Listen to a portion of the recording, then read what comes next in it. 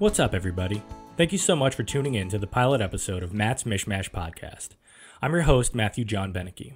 Now, the odds are, if you're watching or listening to this, you probably know me personally, but that might not be the case down the road, and so I wanted to take the opportunity with this first episode just to introduce myself and give you an idea of who I am and what I'm all about.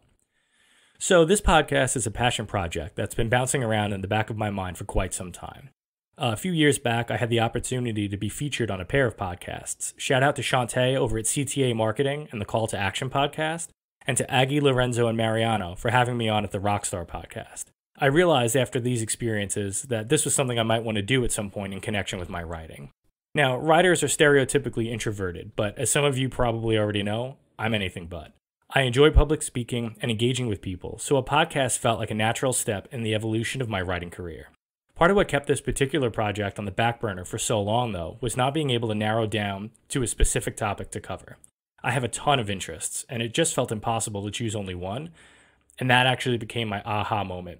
Instead of having only one focus, I should just cover them all. And so that's where the title was born. If you've never heard the term before, a mishmash is a confused mixture, a bunch of random odds and ends thrown together. I mean, if that doesn't describe me to a T, then I don't know what does. So I'm all over the place with my interests, but I think that's what enables me to relate to and interact with such a broad range of people.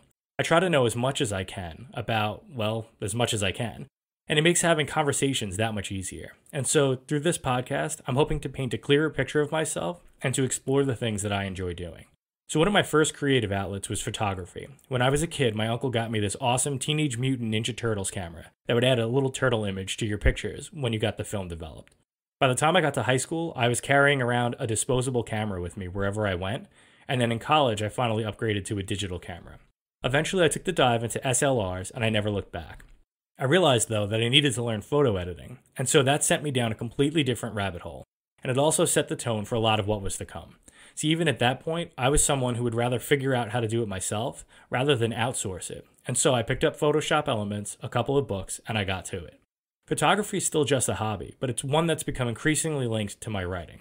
So much of being an independent author revolves around marketing, and so being able to produce visual accompaniments has enabled me to develop my personal brand. I actually designed the logo for this podcast, for example, and you can see the majority of my interests are included in it. You've got the SLR camera, the video game controller, the sports equipment from my playing days, and the whistle from my coaching ones. There are a pair of guitars as my primary musical instruments, and then the dad mug for parenting which I'll cover in greater detail later on. There's also an awesome present from my girls basketball team that I last coached in 2019, my coach Matt mug, filled, of course, with everyone's favorite ubiquitous Irish stout. Guinness actually plays a role in a few different ways, funny enough, especially the writing aspect. Now, I apologize to anyone who's heard me cover this in previous interviews, but writing has been my life's passion since I was seven years old. I had a poem published in a local newspaper, and after seeing my work in print, well, the rest was history. My mom was and continues to be a huge Stephen King fan, and my dad is a big reader as well. So I was raised in an environment where I was constantly exposed to literature and music. Now, this is where I might begin to jump into some new information about my background. See, growing up, I excelled in school. From first grade onward, I was in honors classes, and I wound up graduating as the elementary school valedictorian. I finished fourth in junior high and 15th out of nearly 700 kids in high school. So my academic track record meant that people had pretty high expectations for me. The problem, though, was that I had absolutely no idea what I wanted to do with my life. I was terrified of the prospect of adulthood, largely because I was afraid of making the wrong choice. See, at 17, I assumed that you chose a career and you stuck with it forever. I was jealous of my friends who either had clear fields of study that they wanted to go into, or the ones who knew that college wasn't in their futures. See, even if they were stigmatized for going after so called blue collar careers, I was envious of them because they at least knew what they were doing. I was sick and tired of being told that I was going to change the world or that I was going to do big things because I had zero idea of how I would or what those things would be. I told my parents at first that I wanted to be a writer, and they suggested that I go into finance first. It was sound advice because there was uncertainty involved with writing, but I wasn't sure that I wanted to enter the business world. I suggested teaching English as the next best thing, but again, that was something they thought I could do after a white collar career, where I'd be able to save up money and provide for a possible family down the road. I've covered this part pretty extensively, so I'll just sum it up quickly here. I went to Baruch College to study finance. I met my wife Heather on our first day of classes. I got an internship a few years later that would have paved the way to a lucrative career, except that I realized it wasn't the type of work I wanted to do. I wound up getting a job instead in the education field at Baruch, and then I enrolled in a master's program at Brooklyn College, where I graduated with my degree a few years later in adolescent English education. I was all set to begin my career as a teacher, and that's when Guinness entered the picture. See, to celebrate the completion of my program, Heather and I had planned a trip to Ireland. Growing up in a predominantly Irish neighborhood and having a strong connection with my Irish heritage, this was a no brainer way to celebrate. And so, literally, the day after I graduated, we flew to Dublin for the trip of a lifetime. We hit the requisite pubs while we were there, and I noticed early on that Heather didn't seem to be drinking quite as much as I expected her to. Now, I didn't care because it meant more for me. But on our last night there, when I finished two full pints before she even dented her first one, I kind of had a funny feeling that something was up. And sure enough, the day after we returned, she took a pregnancy test and we found out that we were going to be parents. Of course, we were both freaking out because she just had all that stuff to drink. And so that was the first thing that we brought up with the doctor when we went for that initial sonogram. He asked what she drank, and when she said Guinness, he just chuckled and said not to worry. Best thing she could have been having. They used to prescribe it as medicine back in the day, he said. And so, concurrent with this new development in our personal lives, I found out upon returning that then Mayor Bloomberg had enacted a hiring freeze for all new teachers. Because I wasn't officially in the system, none of the schools that were interested in me could bring me on board. And so, fast forward to January of 2010, and I realized we had a huge decision to make. The baby was coming, and that hiring freeze wasn't going anywhere.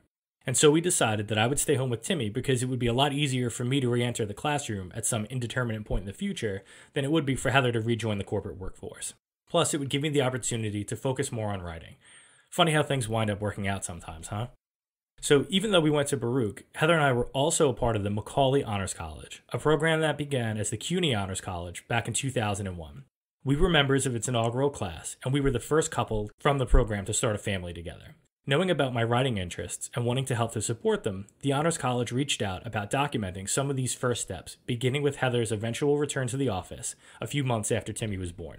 I give her a lot of credit because aside from it already being difficult enough to deal with leaving the baby after a few months together, she now had a camera crew waiting for her outside, ready to record her first trip back into the city. They were then coming back to the apartment to document my first day alone with Tim.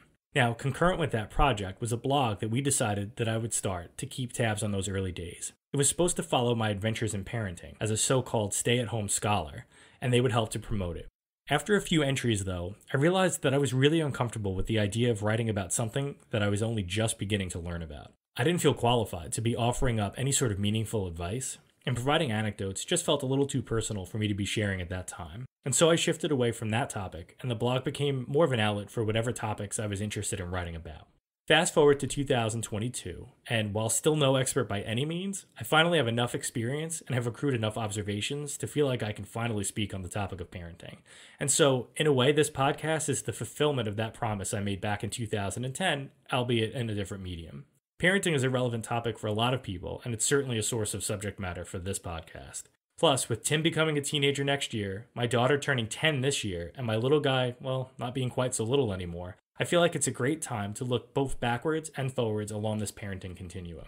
Now, for those of you who don't know, I'm the very lucky father of three awesome young people.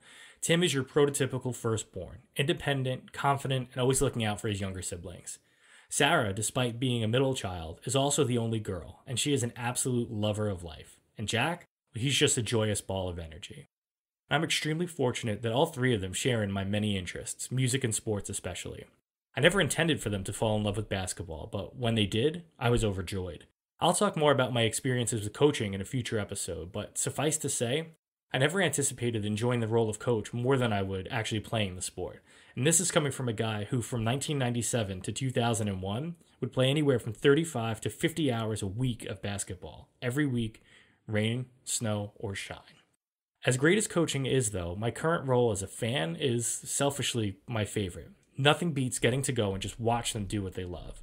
All three of them want to become professional basketball players, though Sarah also wants to be a gym teacher first and foremost. So, shout out to Miss V at Sycamore for igniting the fire of that dream. So, right now, our primary focus is on leading them along that path. Now, I mentioned earlier that Guinness played a role in several things, and with St. Patrick's Day approaching, I figured I could share this lovely memory that partially explains how I became so extroverted. Back in 2001, St. Patrick's Day was on a Saturday, and the weather was really nice. I know this because I distinctly remember being at the park in the early afternoon that day. A group of kids showed up to play, and it became clear pretty quickly that they were coming back from the parade in the city. I could smell the beer and the whiskey on their breath, and so I figured I was going to run circles around them. I increased the effort level, and at one point, I went to box out the best player on the court. As soon as the ball left the rim, I rocketed skyward, grabbed the ball out of the air, and landed, knowing immediately that something was wrong. The first clue was that everyone had stopped moving. It was like we were playing a huge game of freeze tag or red light, green light. Little Squid Game reference there for you. Now, no one moved and everyone was staring right at me. The second thing that I noticed was that the breeze felt different, stronger somehow. I looked down and that was when I realized what had happened. Now, if you're a guy, the odds are you've been pantsed at one point or another. It's stupid, it's juvenile, but it's also hilarious. The sight of someone standing in their underwear with their pants around their ankles unexpectedly is a spectacle that usually is accompanied by embarrassed anger. This was no ordinary pantsing, though, not by a long shot. You see, what I didn't realize before I left the earth to go grab that rebound was that my friend Billy had grabbed onto the waistband of my shorts. Remember that extra effort that I mentioned? Yeah. You see, he held on tight, and I jumped clear out of both my basketball shorts and my boxers. And so I was standing there with ball in hand, looking at his shocked face as he held onto my clothes in disbelief. Thankfully, I had the wherewithal to snatch them out of his hands before it could really register what had happened. I credit the Guinness and the Jameson for slowing him down just enough, and I had them back on faster than I've ever gotten dressed in my life. 21 years later, and I still shudder at the thought of what would have happened if I hadn't gotten them back. For one, he was twice as fast as me, so if he had just decided to take off, I would have been screwed. I mean, that would have been really, really bad. Talk about a walk of shame. So there's the visual you didn't ask for and probably never wanted. Suffice to say, it's experiences like that that helped to toughen me up and made it harder for me to be embarrassed. And so, on that wonderful note, I'll draw this episode to a close.